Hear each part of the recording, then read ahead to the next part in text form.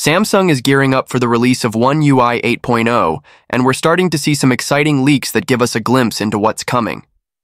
Today, we're focusing on one of Samsung's core apps, Samsung Reminder, which is getting a fresh new look and improved usability in the upcoming update. As you might already know, One UI 8.0 is expected to start rolling out as early as this month, and we've already seen early internal builds surface online. But now, thanks to a new leak shared by ex-user Avetheorism, we have our first real look at the redesigned Samsung Reminder app, and it's looking much cleaner and more user-friendly than before. Let's break down exactly what's changing. First up is the overall layout. In the current version on One UI 7.0, the Reminder app features a side menu, or hamburger menu, on the left side of the home screen. That's where you'll find the categories like Today, Scheduled, Important, and so on. While functional, this layout can feel a bit cluttered, especially for users who prefer minimal designs.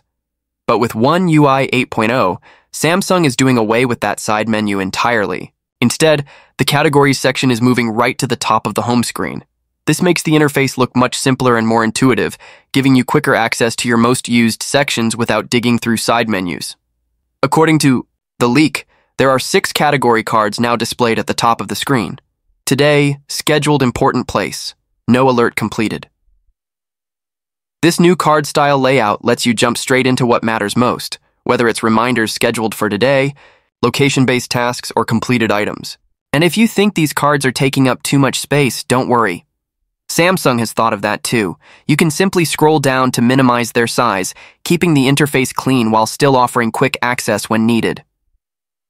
Below the category cards, you'll see your recent reminders, displayed in the same familiar list format. This ensures that while the top layout is getting streamlined, the app still keeps the functionality and usability that Samsung Reminder users rely on.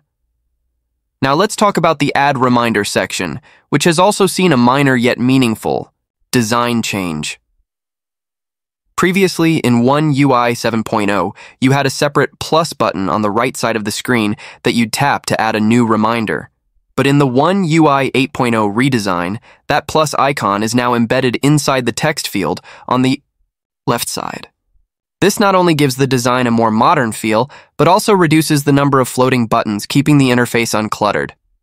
In addition to this, it looks like Samsung has decided to remove the Sort By button altogether.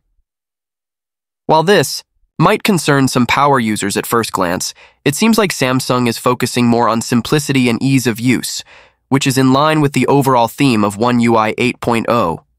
So to sum it up, the Samsung Reminder app in One UI 8.0 is getting a much cleaner home screen, quicker access to categories, a redesigned add reminder field, and a minimal distraction-free layout. These changes aim to make the app easier and faster to use, especially for people who rely on it daily for productivity and task management. Right now, this is all we know from the latest leak. But the good news is that the One UI 8 beta program is expected to open very soon, possibly within days.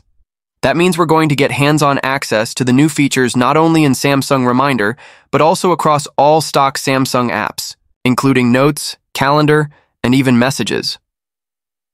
As always, Samsung continues to improve its ecosystem with thoughtful design updates, and this refresh of the Reminder app shows that even small changes can make a big difference in everyday usability.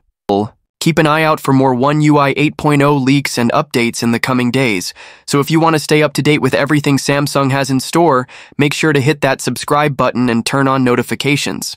And before we wrap up, what do you think of the new Samsung reminder layout? Do you like the simplified design, or do you prefer having the categories hidden in the side menu? Let us know in the comments below. Thanks for watching, and we'll see you in the next video with more One UI 8.0 news and updates.